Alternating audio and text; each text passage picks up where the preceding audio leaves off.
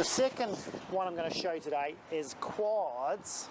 Now, your quads on stage one was pretty easy. This is stepping it up a notch. Now, at this point, not just push forward like that, because you don't want to really lose the range you're trying to gain here. You just then go and tilt back that way, and then you'll get the stretch all the way through. So there's an anchor point here, and that stretch right up through into that top part where that rectus femoris attaches.